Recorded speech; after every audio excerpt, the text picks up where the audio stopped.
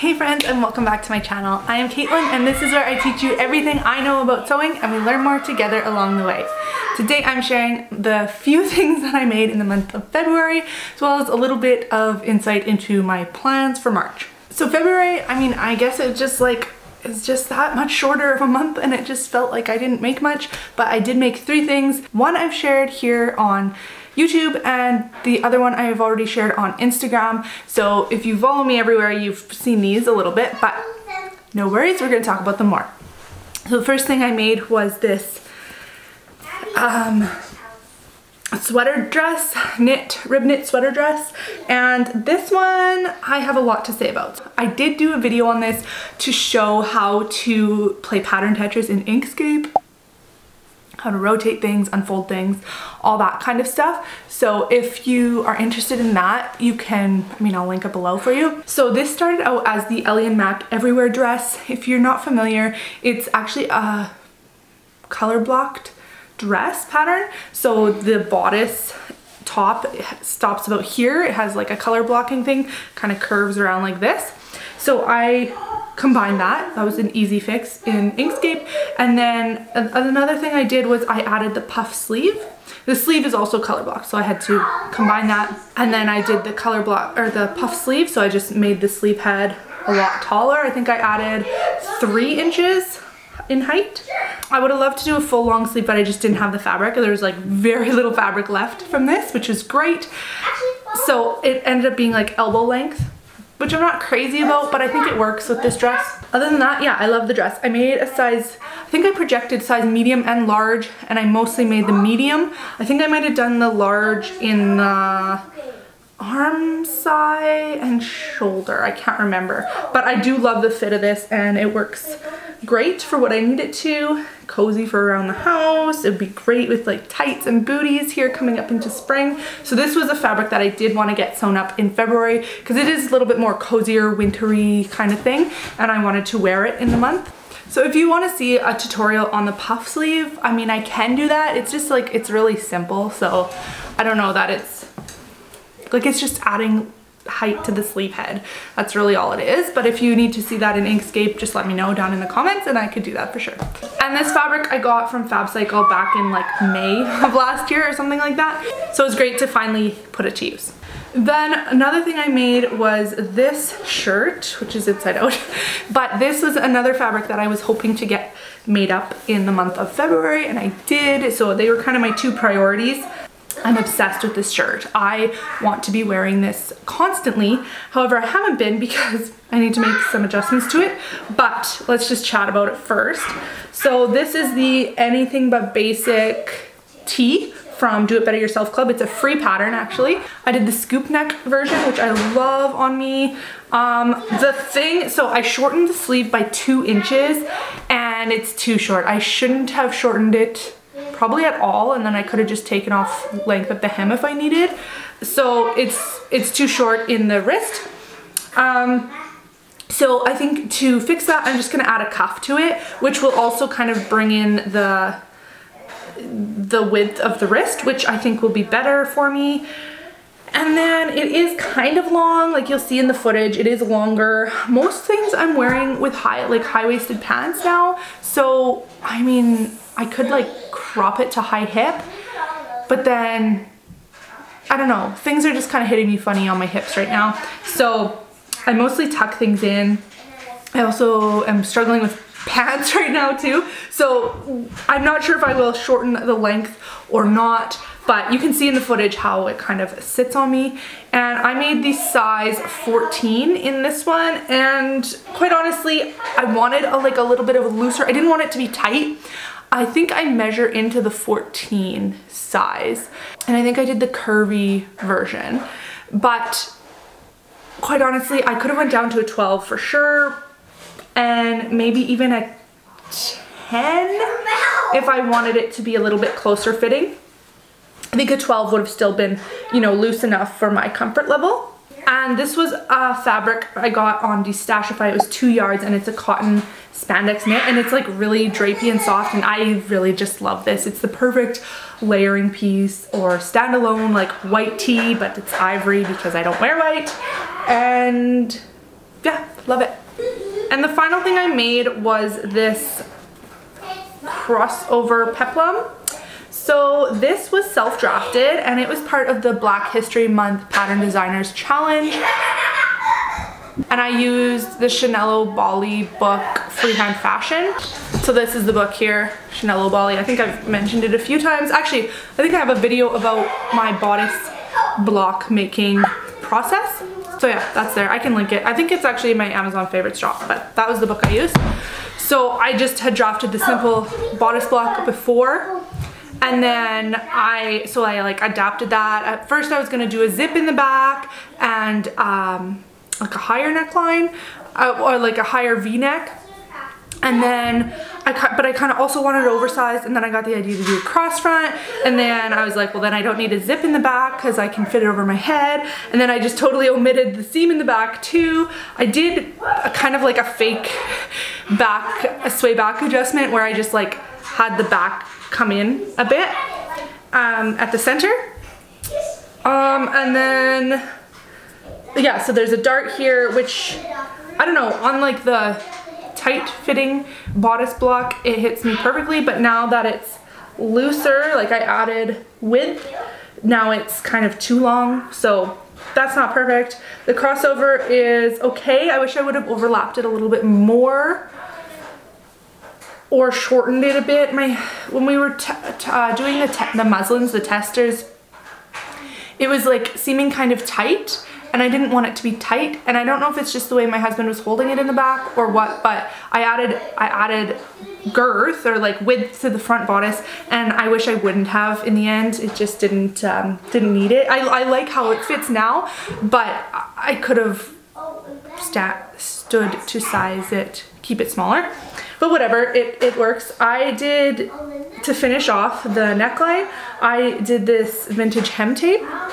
so pretty happy with that. I did stitch down the crossover part here because it was, it's quite, like I said, quite loose on me. So, I mean, it just like gapes open and I might actually have to do something else to keep it from, like when I wear it, it's still kind of revealing in some positions. And then for the skirt, I just took the circumference of the bodice and then I was originally gonna do two times for the gathers, but then I don't know, I thought that would be a little bit too full. So then I did one and a half times and I think it's perfect. The back of this is my favorite. Like when I'm wearing it, I love the back, how the back lays on me and sits on me.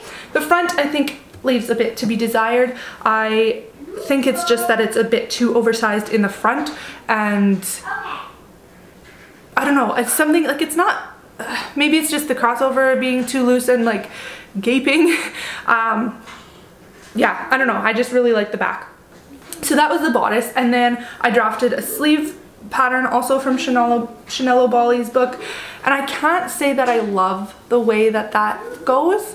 I mean, it was a good starting point, but it doesn't really give you direction for like the sleeve head and stuff and how to fit that into the bodice like to make it make them work. So that took quite a few drafts and I don't think it's perfect. I think I have some fit issues in there whether it's more of the bodice or more of the sleeve problem I'm not sure. And then I made it a full sleeve so I made it quite wide so I didn't really have to worry about you know fitting my bicep or anything like that. And then at the wrist I wanted it to be I like my wrists to be you know fairly fairly close fitting so I added elastic.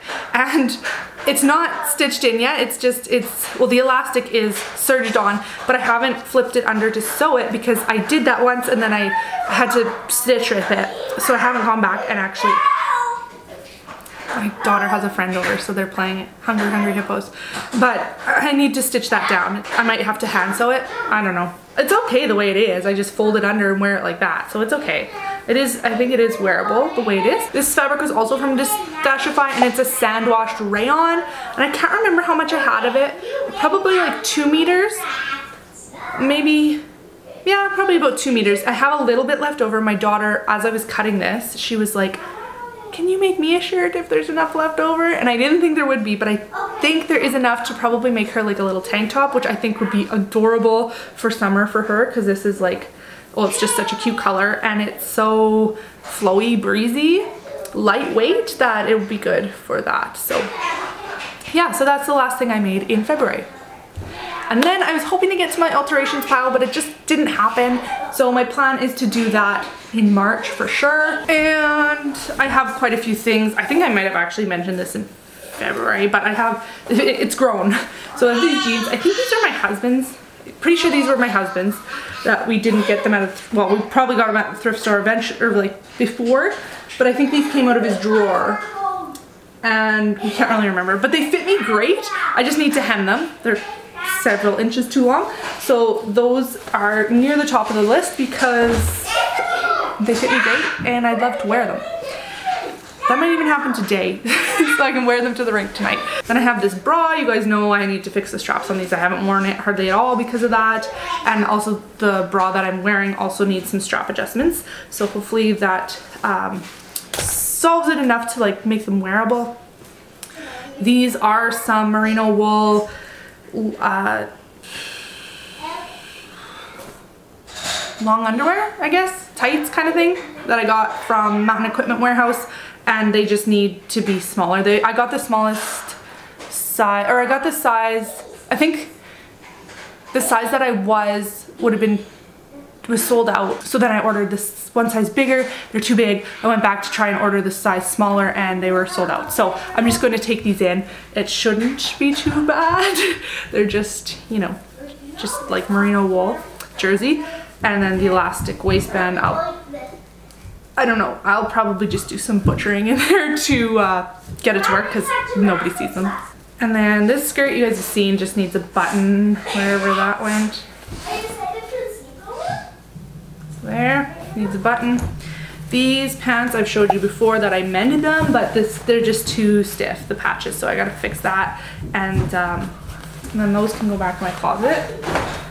Um, this shirt I did as a pattern test a while ago, and the sleeve just doesn't fit right, so I think I'm just gonna take the sleeve off and have it as a sleeveless top, and I might alter the collar, I'm not sure yet. But I really do like the colors. I think it is maybe a little bit cool for my skin tone, but I mean, we'll see. Take the sleeves off, that's an easy fix, probably do some binding on there and then it'll be done. And then these shorts are Nolan shorts that I made like, not even last summer, I think it was the summer before. Might have been last summer, but they are way too big. So I need to uh, probably like take them all apart and make them smaller so that I can wear those because I think they'll be cute for summer. And then this is the last thing and I'm not sure how I feel about it. It's my black Yanta overalls and I think I'm just not an overalls person. I think it's because of my bust. They just, I just don't feel comfortable in that, especially like when the bib goes side to side and I'm constantly fiddling. I'm just not a fan of that. So I thought about like just making them into shorts, but they're also kind of big. And I don't know, I think I might, um, that's the back. I'm not sure what I'm gonna do with these yet. If I'm gonna just use them as fabric or make shorts. I don't wear a lot of black, so, but I mean, to have a pair of black shorts isn't the worst thing either. So we'll see. We'll see what I end up doing with this, if anything, or if I just pass them on. So that's my alterations pile. And then I plan on doing, you guys saw I did had a Sew Frugal video. Uh, it was, it's like a challenge that's happening in the month of March and that's over on Instagram, but I talked about it here on my channel last week and there was I, I, mentioned like 13 patterns so I will definitely get to at least one of those to enter the challenge and the one that I really want to make I think I'm actually going to use the new seamwork pattern for so if you're if you're privy to all that you probably know what I'm talking about and then I'm not sure which other pattern free pattern I will use for like to enter the um, the challenge.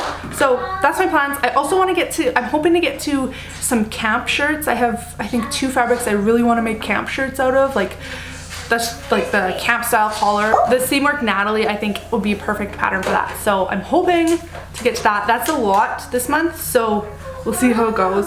This alteration thing is just like weighing on me and I can't, it feels like I can't be creative until that's done. So I think I'm gonna tackle all those first. And I'm kind of feeling in the mood right now, so I better go do that. Thanks so much for watching and if you like this video, don't forget to hit the thumbs up button and subscribe to my channel so you can see future content from me. Thank you so much for sticking around to the end and I hope you have a wonderful day. See you in the next one.